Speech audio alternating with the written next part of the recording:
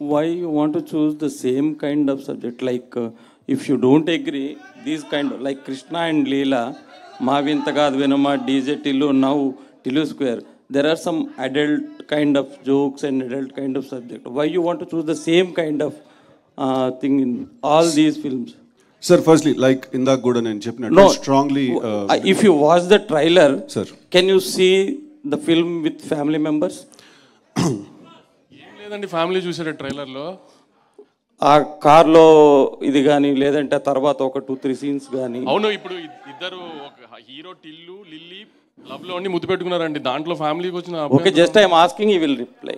అదే అంటున్నా దాంట్లో. ఫ్యామిలీకి వచ్చిన ఇబ్బంది ఏమని చెప్పండి అంటున్నా. ఉంది యాక్చువల్లీ మేము కూడా డీజేటీలో ఫస్ట్ రిలీజ్ చేసినప్పుడు ట్రైలర్ కట్ చేసినప్పుడు చాలా యూత్ కంటెంట్గా ట్రైలర్ కట్ చేసాము దాని తర్వాత అందరూ కొంచెం ఇది యూత్ ఉంటుందని ఆ ఓపెనింగ్ అంతా యూత్ స్పేస్లో పడిన తర్వాత వన్స్ ఓటీటీ ప్లాట్ఫామ్లో సినిమా వచ్చిన తర్వాత ఫ్యామిలీస్ ఎక్కువ ఓన్ చేసుకున్నాయి సినిమాని. ఈసారి కూడా ఫ్యామిలీస్ చాలా బాగా ఓన్ చేసుకుంటారు. ఈసారి థియేటర్లోనే ఓన్ చేసుకుంటారు సినిమాని.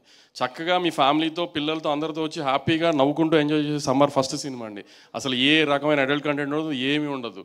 ఫస్ట్ పార్ట్లో ఎలా నవ్వుకున్నారో హ్యాపీగా అలానే నవ్వుకుంటారు దీంట్లో కూడా. Okay. But the kind of subjects you are sir choosing అలా కాదు సార్. అదే అంటున్నాను. ఇప్పుడు అది మీరు అన్నది కూడా అది అడల్ట్ కంటెంట్ అని నేను అనుకోవట్లేదు సార్ అసలు నేను. It is not adult content sir it's youth content అండి I'm not saying. Adult content there are some adult jokes a a jokes అండి? ఇప్పుడు ఆ కార్లో కూడా అండ్ లేటర్ పార్ట్ ఆఫ్ కార్లో నీ నీ మోస్ట్ వీకెస్ట్ పార్ట్ ఏంటి? నా కళ్ళు నా హార్ట్ దాంట్లో అడల్ట్ ద సీన్ కదా అది ఉంటుంది కదా కొంచెం. నో నో సార్ నో ఆ సీన్ ఇప్పుడు డైలాగ్స్ వేరు చూసి మాట్లాడడం వేరు కదా ఫ్యామిలీ మెంబర్స్తో అది. That's what I'm saying it's a it's a scene కదా బాడీ లాంగ్వేజ్ కానీ ఆ డైలాగ్ అబ్సల్యూట్లీ అండి but I'm trying to understand family members తోటి అంటే is it convenient to see with the family members the film oh cinema family members part one చూసారు కదా sir నేను shock అయిపోయాను సార్ పార్ట్ వన్కి చిన్న చిన్న పిల్లలు అండ్ ఫ్యామిలీ విమెన్ చాలా ఎక్కువ ఫ్యాన్స్ ఉన్నారు పార్ట్ వన్కి సో నేను యాక్చువల్లీ ఫస్ట్ టైం లేదు మంది ఓన్లీ యూత్ సినిమా కదా అని అనుకున్నాను నేను.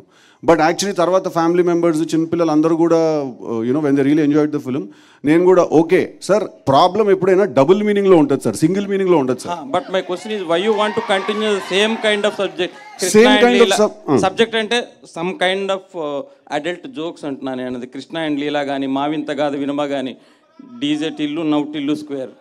అంటే అన్ని యంగ్ ఫిల్మ్స్ యంగ్ సబ్జెక్ట్స్ కదా సార్. యూత్ టార్గెట్ చేసి తీసే ఫిల్మ్స్ కదండి.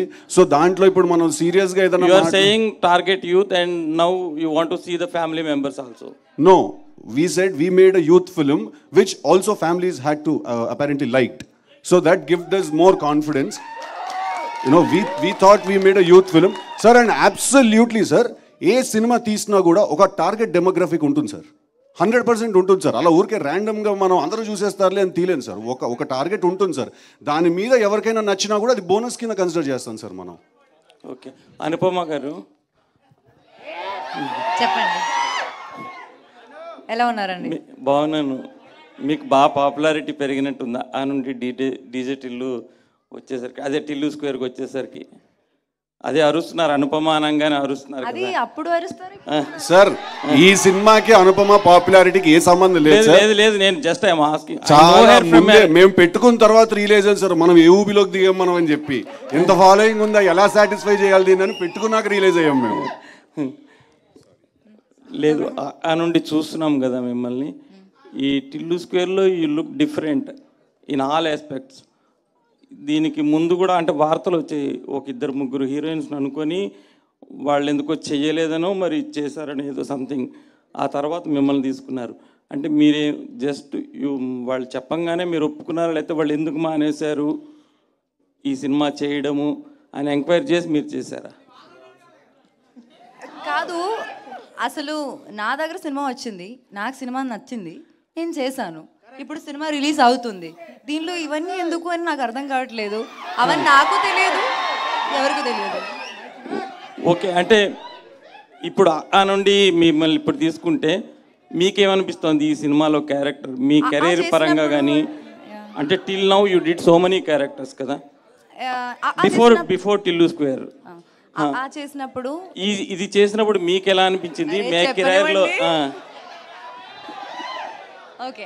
ఆ చేసినప్పుడు నా ఏజ్ నైన్టీన్ అండి. నేను ప్రేమం అని మలయాళం సినిమా చేసి నెక్స్ట్ ఇమ్మీడియట్లీ చేసేది ఆ దాని తర్వాత నేను చాలా సినిమాలు చేశాను. ఇప్పుడు almost nine to ten years అవుతుంది నేను ఇండస్ట్రీకి వచ్చి. ఈ నైన్ ఇయర్స్ నేను చేసిన క్యారెక్టరే మళ్ళీ మళ్ళీ చేయాలని కోరుకోవడం తప్పు కదా అండి నేను కూడా హ్యూమన్ బీయింగ్ కదండి. మల్లిక్ గారు.